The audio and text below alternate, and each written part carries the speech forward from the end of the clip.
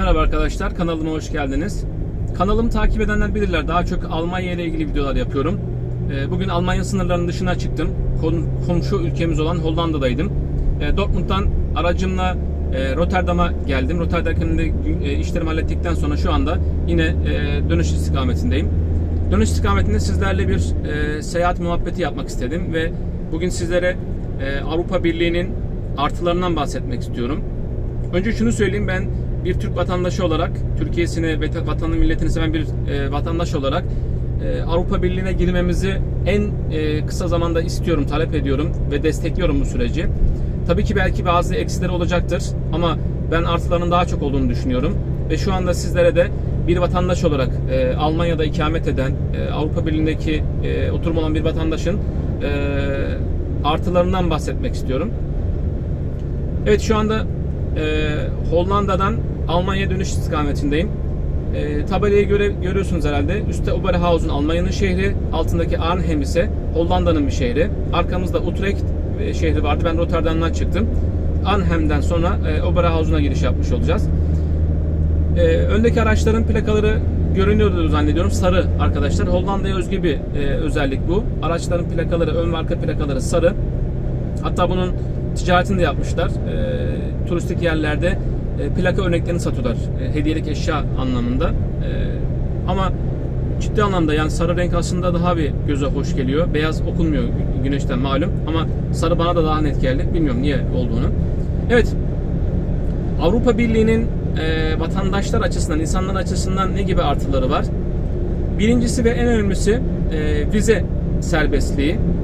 Ben Türkiye'deyken de Avrupa'ya sürekli seyahat ediyordum. Vize sürecini e, zorluklarını yaşamış bir insanım. Bu videomu izleyenlerden de daha önce video vize almış, başvurusu yapmış insanlar varsa ne demek istediğimi anlayacaklar. Gerçekten yani e, gezmek amaçlı, turistik amaçlı bile olsa vize almanız e, çok zor. Artı bazen red alma ihtimaliniz de söz konusu. Ama Avrupa Birliği'nde bu yok arkadaşlar. Ee, EU ülkelerinde yani Avrupa Birliği'ne ülkelerinin tamamında vize gerekmeden normal kimliğinizle, oturum aldığınız kimlikle seyahat edebiliyorsunuz. Ben yaklaşık 4 yıldır Almanya'dayım. Ee, pek çok Avrupa ülkesini bu arada gezmiş oldum. Ee, yani bu süre içerisinde bana kimse herhangi bir kimlik dahi sormadı. Kontrol falan da yapılmıyor sınırlarda. Onu da görmüş olacağız birazdan devam, videonun devamında.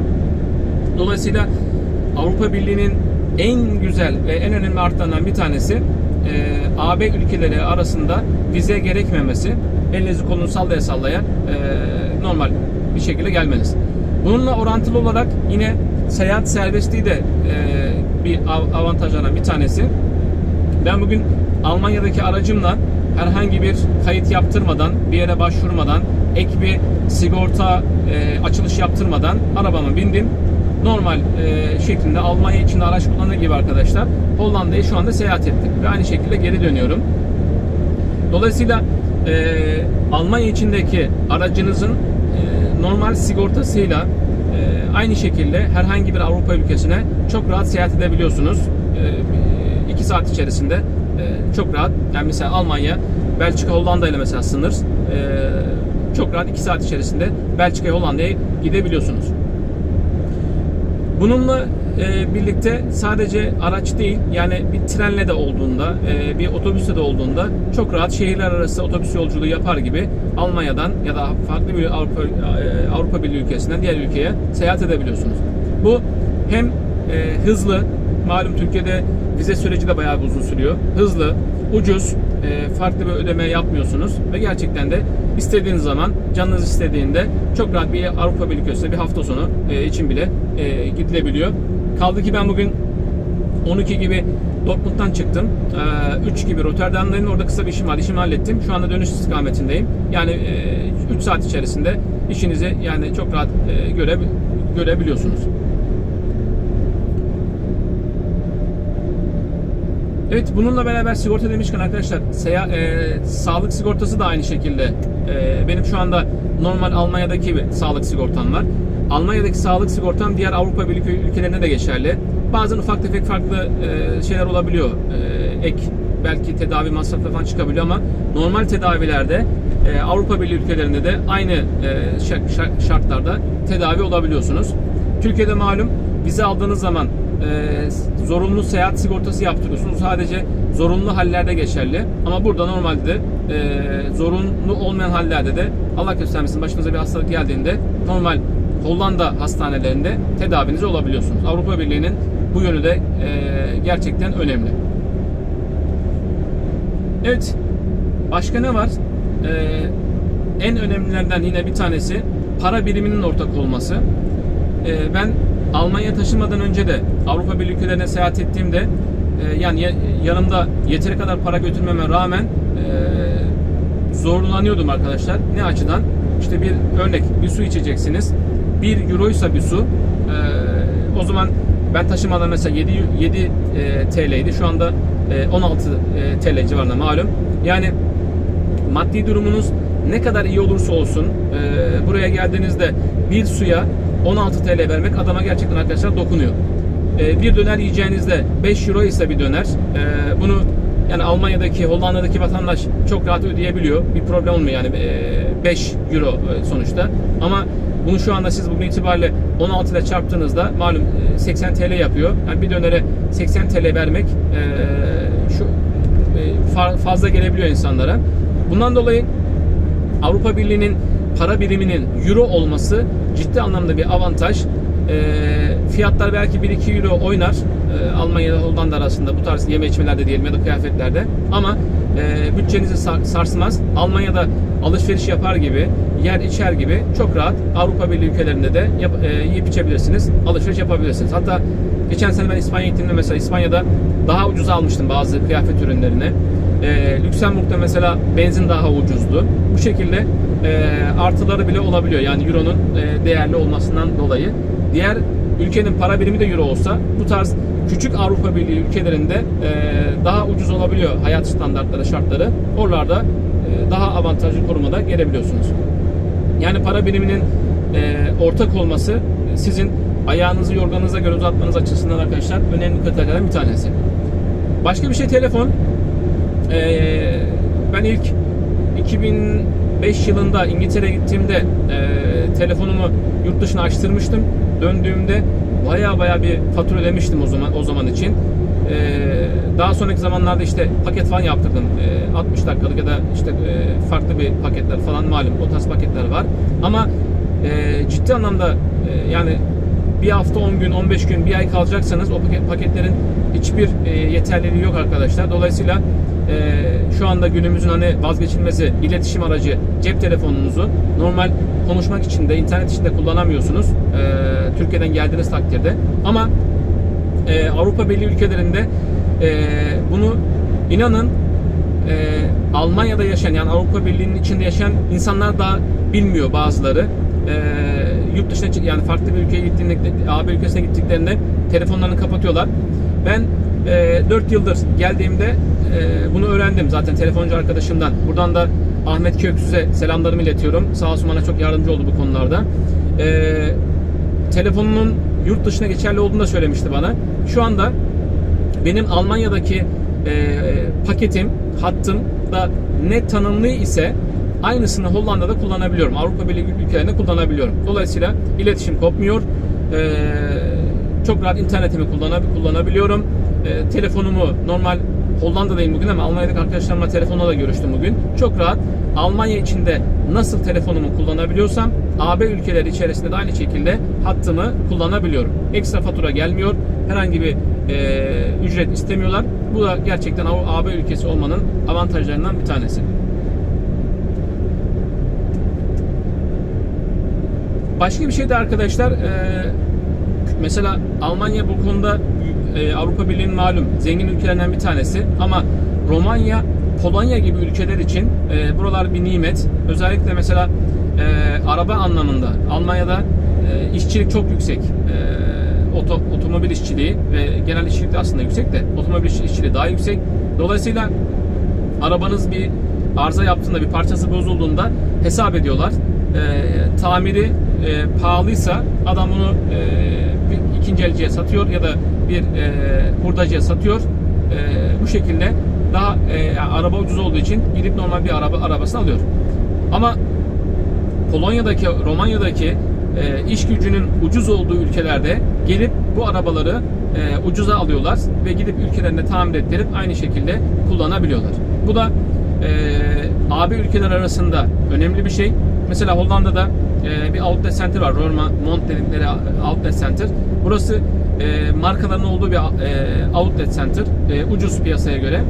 E, Almanya'daki insanlar yani e, 2 saat falan sürüyor mesela. Hafta sonu e, çıkıp ailesiyle hem gezme dolaşma için hem de ucuz alışveriş yapmak için geliyorlar. Dolayısıyla e, alışverişte e, hakkınız var. Yani ekstra gümrük ödemiyorsunuz, ekstra vergi ödemiyorsunuz. E, bu şekilde de e, biraz Avrupa Birliği AB'yi karıştırdığınız takdirde yani e, incelediğiniz takdirde de e, nerede ne ucuzsa onu da çok rahat yine euro para biriminden almanız söz konusu. Evet arkadaşlar şu anda Hollanda Almanya sınırındayız. Ee, bir dinlenme tesisi var sağımızda solumuzda. Normalde sınır yani burası. İki ülke arasındaki bir sınır.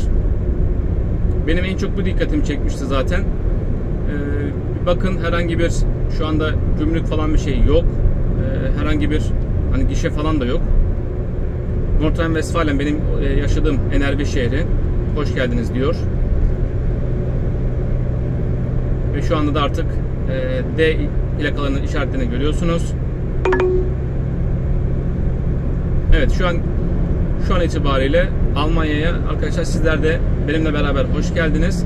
Benim çok dikkatimi çekmişti bu. Ee, hani ülkeler arasında tamam Avrupa Birliği'ne bağlılar ama en azından kontrol olur mu falan gibilerinden. Ee, çoğu ülkede benim gezdiğim ülkeler arasında bu şekilde herhangi bir gişe dahi yok. Ee, otoban çıkışı vesaire de yok. Yani e, direkt nasıl çıktığınızda anlamıyorsunuz. Girip, girip çıktığınızı anlamıyorsunuz zaten. Ee, AB'nin Avrupa Birliği'nin e, en güzel rahatlığı burası. E, zamanlarla kazanıyorsunuz. Artık kimse size bir şey sormuyor. Çok rahat. E, elinizi kolunuzu sallaya sallaya e, kendi ülkenize gidip ülkeler arasında seyahat edebiliyorsunuz. Bu da e, güzel bir şey arkadaşlar. Yani e, ben neye benzetiyorum Avrupa Birliği'ni? E, yani Türkiye'yi düşünün. Türkiye'nin şehirleri gibi düşünün. Türkiye Cumhuriyeti hepsi. Ama içinde e, vilayetler var, şehirler var. Bu şehirler kendi arasında gidip gelebiliyorlar. Avrupa Birliği de bana o şekilde geliyor. Yani şehirler arası yolculuk, gezme, dolaşma e, gibi geliyor. Yani bir Ankara'dan İstanbul'a, e, Anka, e, İstanbul'dan işte Edirne'ye, e, Edirne'den başka bir şehre gider gibi normal Türkiye'de nasıl gidebiliyorsanız Avrupa Birliği'nde de o şekilde seyahat edebiliyorsunuz. E, aynı sınırlar sınırlar gibi düşünün. E, bütün AB sınırları içerisinde. Bu gerçekten avantaj. Size seyahat özgürlüğü tanıyor. Zamandan kazanıyor, paradan kazanıyorsunuz. Bu da AB ülkesinde olmanın güzel avantajlarından bir tanesi. Evet şu an ben telefonumu kullanmıyorum. Bakın sağda da onu da e, mesaj olarak vermiş olalım. Lütfen seyahatlerinizde cep telefonlarınızı e, kullanmayın. Ben şu an e, normal sabit hale getirdim telefonumu. E, onun için içim rahat. Size de tavsiye ediyorum. Evet şu anda Avru e, Almanya'dayız arkadaşlar. E, Oberhausen şehrine yaklaşıyoruz. Almanya şu anda yaz geldi e, diyebiliriz. Yani Almanya'nın yazı çok uzun olmamakla beraber güzel bir hava var bugün. E, biz de bu güzel havada e, yolculuğumuzu yapmış olduk. Sizlerle de ilk defa böyle bir video çekiyorum e, açıkçası. E, bu tarz videoları beğenirseniz, merak ettiğiniz konular varsa lütfen yorum kısmına yazın. E, abone olmak isterseniz de sevinirim, hoşuma gider, memnun olurum. E, yaptığımızda da doğru olduğunu görmüş oluruz. Ve şekilde solda da ben size rüzgar güllerini de göstermek istedim. Almanya bunu çok ciddi kullanıyor. Buradan çok ciddi e, rüzgar enerjisi elde ediyor. E, rüzgarın çok olduğu bir yer.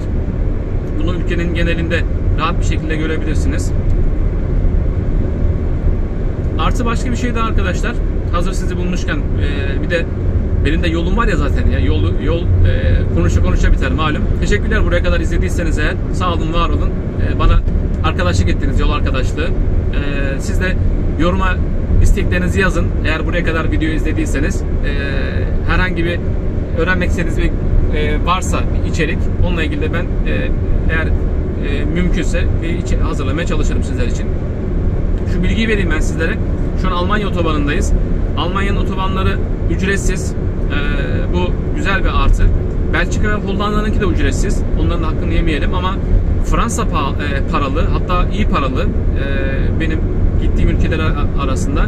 Geçen sene Fransa üzerinden İspanya, Barcelona'ya gitmiştim yaz tatili için. Orada e, Fransa'ya giriş, girde, girme, çıkma yaklaşık e, yanılmıyorsam 150-200 euro arasında otoban ücreti ödemiş oldum. Bu da e, yani e, hani belki çok değil gibi geliyor ama e, Almanya'da ücretsiz olduğu için e, aynı şeyi e, başka bir ülkede ödemek tabi arkadaşlar biraz cebe dokunuyor. Önemli. Evet rüzgar güllerini sağlı sollu bayağı görüyoruz ve bugün güneşli ama biraz e, yani rüzgarda bir hava var. Plakalar da beyaza döndü artık Almanya plakaları. Oberhausen 67, Köln'e 136 kilometremiz kalmış. Ben Dortmund'a gidiyorum. Evim o tarafta çünkü. Ee, şunu da söyleyeyim. Otobanlar ücretsiz demiştim. Artı benim dikkatimi çeken maddelerden bir tanesi de e, yani Almanya'daki hayatla alakalı. Otobanlarda sağlı sollu ağaçlar var. E, bu, e, malum Almanlar çevreye e, iyi dikkat ediyorlar. Çevreleri, çevreyi koruyorlar. Ve e, karbondioksit gazını azaltmak açısından da sağlı sollu ağaç dikmişler. Zaten yağmur alan bir ülke. E, ağaçlar kurumuyor ve e, bu şekilde de e, arabaların e, karbondioksit e, gazlarını da e, ağaçlar ağaçlarla çözmeye çalışmışlar. Bu da takdire şayan e, artılardan bir tanesi. Yani e, Avrupa Birliği'nde de var ama şu an Almanya sınırlarındayız. Almanya'da bunu da e, söylemek istiyorum.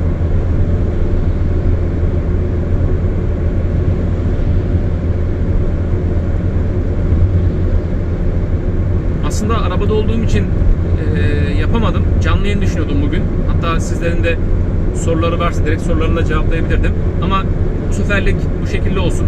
Banttan yapalım yayınımızı. Ben e, bunu yükleyeceğim eve gittiğim zaman. E, ama dediğim gibi arkadaşlar eğer e, sorularınız varsa Almanya ile ilgili özellikle e, Avrupa Birliği de olabilir. E, elimden geldiğince e, bilgilendirmek isterim sizleri. E, kanalımda aslında eğitim kanalı, eğitimci olduğum için İngilizce öğretmeniyim. E, eğitim yani her türlü eğitim amaçlı videolar hazırlıyorum. E, Almanya'da yaşam, Almanya'da haberler, Almanca öğrenme, İngilizce öğrenme, Almanya'da eğitim sistemi, okul sistemi, öğretmenlik e, bu şekilde videolarımı hazırlıyorum. Takipte kalırsanız memnun olurum. Daha çok kişiye ulaşabilirsek daha çok kişiyi bilgilendirmiş oluruz. Yani çok ben gelmeden önce de benzer videolar izliyordum. Açıkçası e, bazı videolar hatta çoğu videolar arkadaşlar taraf tutuyor. Yani e, Almanya'nın mesela sadece artılarını gösteriyor. E, Türkiye'yi kötülüyor. E, ben buna kesinlikle karşıyım. Bazıları da Almanya'nın olumsuz taraflarını gösteriyor. E, Türkiye daha güzel bir ülke gibi söylüyor. E, ben ikisine de e, ikisini de biliyorum. Hani Almanya'nın artıları da var, eksileri de var. Dolayısıyla e, böyle bir direkt olarak bir video olduğunda benim videolarımı baktığınız zaman herhangi bir taraf tutmadığımı, objektif olarak videolarımı hazırladığımı görürsünüz. E, bu videolarımı da bu şekilde hazırlamaya devam edeceğim. Yani e, şunu söylemek istiyorum arkadaşlar.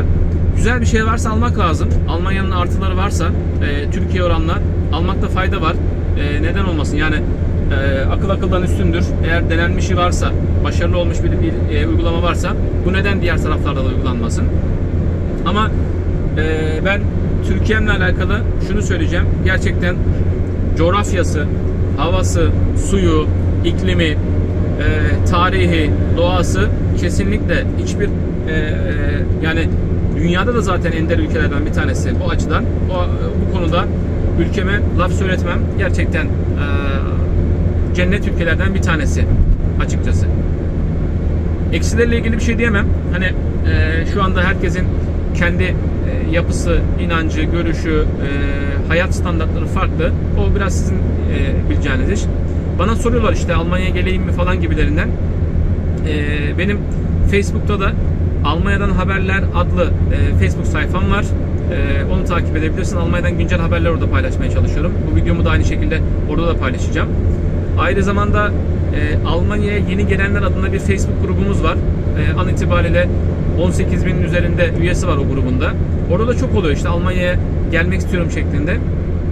E, açıkçası ben kimseye Almanya'ya gelin ya da gelmeyin diyemem. Böyle bir hakkım yok. Herkesin ne yaşadığını bilemiyorum. Hayat standartlarının içinde bulunduğu psikolojiyi bilemem. Dolayısıyla e, bu şekilde arkadaşlar objektif kanalları takip edin. Taraflı kanalları değil de objektif kanalları takip edin. Ve e, yani ona göre kararı kendiniz verin. Hatta geçici gelme ihtimaliniz varsa bir turistik vizeyle gelme ihtimaliniz varsa o şekilde gelin. Bir alıcı gözle hani derler ya gelin kendiniz bakın. O şekilde de bir deneyin. E, bununla ilgili de e, merak ettiğiniz sorularınız varsa da bana gerek e, bu videonun altına yorum yazarak gerek Facebook'ta bahsettiğim e, Almanya'dan haberler ve Almanya yeni gelenler sayfalarından da ulaşabilirsiniz. Oradan da e, ben bildiğim kadarıyla sizlere de yardımcı olmak isterim tabii ki. Bu arada Almanya dedik ama Avrupa Birliği'ne tekrar geri dönelim. Ee, öğretmenlikten gelen bir alışkanlık. Yani şöyle bir toparlayalım arkadaşlar. Ne anlattık ne bittik ee, geçtik şimdiye kadar. Evet. Avrupa Birliği'nin avantajlarını ben size anlatmaya çalıştım. İlk madde olarak vize serbestliğini, vize gerekmemesini anlattım sizlere. Arkasından e, seyahat özgürlüğü, aracınızla, e, otobüsle, trenle normal herhangi bir işlem gerekmeden seyahat özgürlüğünüzün olmasını söylemiştim. Sağlık sigortasının ortak olması da avantajlardan bir tanesiydi. Para biriminin euro olması, e, tek para biriminin kullanılması ve her yerde de fiyatların birbirine yakın olması da artılardan bir tanesiydi. Cep telefonundan bahsettim. Benim şu an cep telefonumda uçak modunu aldım herhangi bir e, çağrı gelmesin diye ama normalde cep telefonu da e, kendi bulunduğunuz ülkede paketiniz, tarifiniz neyse aynı şekilde e, kullanabiliyorsunuz Avrupa Birliği sınırları içerisinde. Tekrar üstüne basa basa söyleyeyim arkadaşlar altını da çizeyim. E, Almanya'daki arkadaşlarımdan da bunu bilmeyenler var. Yani uzun yıllar burada yaşamasına rağmen geçen bir arkadaşım o da Belçika'ya mı Hollanda'ya mı ne gitmiş e, gezmeye. E, ulaşamadım ben kendisine. Döndüğünde sordum dedim neredeydin? Dedi işte e, başka bir ülkeye gittim. Yalan olmasın hani Belçika'da Hollanda. E, orada dedi telefonumu kapattım dedi. Niye kapattın telefonunu? Ya işte faturayı al gelmesin diye. Yani Almanya'da doğan bir arkadaştı bu. E, o da hani kimseye ayıpladığımız, e, eleştirdiğimiz yok ama e, bunu da hani bilmeniz için söyledim size. E, bir öğrenmekte fayda var. Bir diğer maddede alışveriş özgürlüğüydü. Yani gümrük gerekmemesi, e, istediğiniz istediğiniz yerden almanın. Mesela e, online alışveriş sitelerinde de e, sipariş veriyorsunuz. Sizin siparişiniz e, mesela Polonya'da, Polonya'dan geliyor. Mesela Avusturya'dan geliyor. E, şu an İngiltere'de malum Avrupa Birliği'ne ayrıldıkları için bir sıkıntı var ama oradan da ürünler gelebiliyor. E, ve mesela Amazon, eBay e, söylemiş olalım. E, bunlardan da alışveriş yaptığınız zaman yani bu Avrupa Birliği ülkeleri içerisinde e, aldığınızda normal e, kargoda şartları e, Almanya içindeki bazı olabiliyor. Kargoyu öde, ödüyorlar. Yani siz e, Amazon'dan bir alışveriş yapıyorsunuz. eBay'den bir alışveriş yapıyorsunuz. Sizin ürününüz Danimarka'dan geliyor mesela. Hollanda'dan geliyor. E, işte Belçika'dan geliyor. İki gün sonra geliyor belki ama normal siz gene e, AB ülkeleri arasında aynı ürünü daha ucuza alma şansınız olabiliyor. Bu da gene bunu söylemeyi unutmuştum galiba. Bunu da eklemiş olalım. E, dolayısıyla aynı ürünü çok daha ucuz bir şekilde istediğiniz yerden alabilirsiniz. Öndeki Volvo da e, Hollanda'dan geliyor arkadaşlar. Bakın o da e, Almanya'ya giriş yapmış.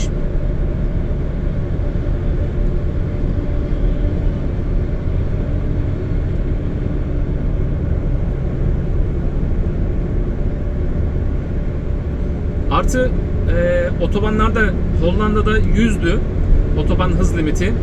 Şu anda bakın 80 bitti diyor sol tarafta. E, bundan sonra kaptır kaptırabildiğin kadar diyor kurallar.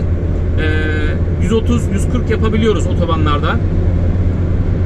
Serbest. Yani bu konu bu Almanya'nın güzel bir tarafı. Avrupa Birliği ülkeleri arasında en hızlı ülke e, otobanlarda Almanya. Hatta yeni kurulan e, hükümette Yeşiller Partisi olduğu için buna karşı çıkıyorlar. Belki e, siz bizi video izlediğinizde Almanya'da hız sınırı düşüm, düş, düşmüş olabilir. E, şu anda onunla ilgili de bir çalışma yapılıyor. Bakın yeşillik, sağlı sollu, e, güzel güneşli bir hava. Hollanda'dan çıktık, e, Almanya'ya girdik. Solda da seyahat firmaları var. E, Hollanda tarafına geliyorlar şu anda.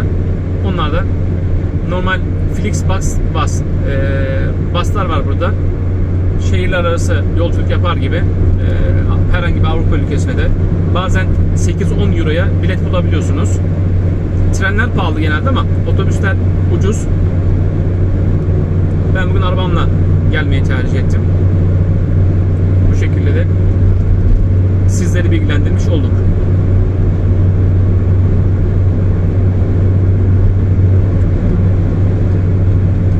Bu arada dediğim gibi ben bu şekilde e, sohbet içerikli video çok fazla çekmedim arkadaşlar. Kanalımda pek bulamazsınız. Ama beğendiyseniz lütfen e, bununla ilgili yorum istiyorum. Hala video izliyorsanız bu ana kadar lütfen e, bu formatla alakalı yorumlarınızı da yapın. Yani öğretmen olmanın e, bazı dezavantajları var tabi e, YouTube sektöründe. Ben her şeyi tam öğrendikten sonra e, eksiksiz olarak hazırlamak istiyorum videolarımı ve e, bilgilere güvenebilirsiniz. Bunu da e, reklamını yapmış olalım.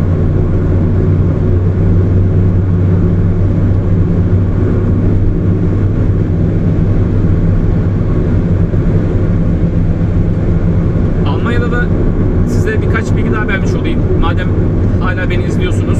Eee dislike yapmadınız. Teşekkürler arkadaşlar. Almanya'da e, araç plakalarında şehir kodları harf olarak var. Türkiye'de malum sayılar var. Burada harfler var. Şu öndeki mesela GL e, plaka. İşte o Gladbeck olabilir. E, her şehri ben de bilmiyorum. Bazı küçük şehirler de plaka alabiliyor. Benim mesela oturduğum şehir Lünen diye geçiyor. Ben mesela Lün plakası almış oldum. Köln mesela K, Berlin B, Düsseldorf, e, Kuzeyden Westfalya'nın başkenti D, Denizli'nin D'si. Dortmund mesela daha küçük bir şehir olduğu için D ve O olarak e, plaka hakkı tanınmış. Yani Türkiye'de sayılar varken Almanya'da harf olarak yani ikamet ettiğiniz şehrin harfi olarak alabiliyorsunuz. İlk e, plakanızı o şehirden alıyorsunuz ama taşındığınız takdirde plakanızı değiştirme zorunluluğu yok. Aynı şekilde normal plakanızı da e, kendiniz kullan aynı şekilde kullanmaya devam edebiliyorsunuz. İkinci el araç alırken dikkatimi çekmişti. Arabalar burada e, arabayı kapatıyorsunuz komple. E, satmak sattığınızda e, gidip trafik müdürlüğüne gidip ara, ara, aracınızı trafikten e, sildiriyorsunuz ve plakanız da siliniyor. Ve ikinci el araba aldığınız zaman e, plakasız araç alıyorsunuz. E, direkt olarak e, plakanızı da kendiniz alıyorsunuz. Plak alırken de güzel bir şey. E, 10 mu 15 euro mu neydi ben arabayı ilk aldığımda e, kişi özel harfler alabiliyorsunuz işte ben mesela çocuklarımın adını aldım e, baş harflerini aldım İstanbul'dan geldiğim için arkasına e, İstanbul'da koymuş oldum e, bu şekilde yani size özel plaka Türkiye'de hani pek denk gelmiyor belki ama ya da belki çok fazla, daha fazla para ödemeniz lazım. Burada normal 10-15 euro fark ödeyerek kendi plakanızı kendiniz seçebiliyorsunuz. Artı aracınızı değiştirdiğiniz zamanda da o plakayı kullanmaya yine devam edebiliyorsunuz. Yani plaka şahsa veriliyor. Ee, diğer e, sizde kalıyor plaka. Yeni bir aracınızda da direkt plakanızı taşıyabiliyorsunuz.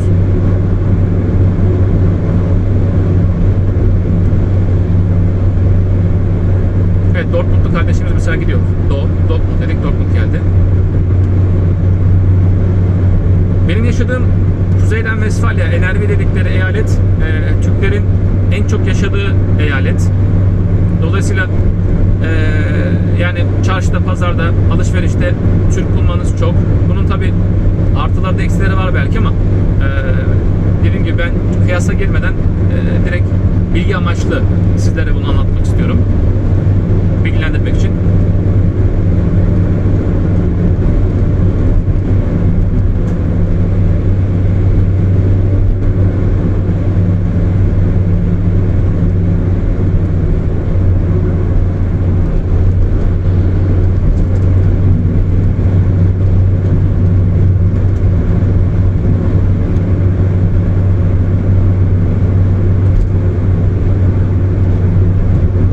Evet arkadaşlar benim daha yolum var. Ama e, şimdi anlatacaklarım açıkçası bitti. E, sizlere teşekkür ediyorum. Buraya kadar ilgiyle izledi, izlediğiniz için. E, dediğim gibi yani yorum kısmına yazabilir, yazabilirsiniz. Her türlü e, dileklerinizi, temennilerinizi anlatabilirsiniz. Beğendiyseniz lütfen onu da e, bu ilk video olduğu için anlatabilirsiniz. Bugün sizlere Avrupa Birliği'nin artılarını anlatmaya çalıştım. Arkasından biraz Almanya ile alakalı sonrasında bilgi vermeye çalıştım. Umarım memnun kalmışsınızdır. Ee, herkese Almanya'dan selamlarımı iletiyorum. Sağlıcakla kalın. Kendinize iyi bakın arkadaşlar.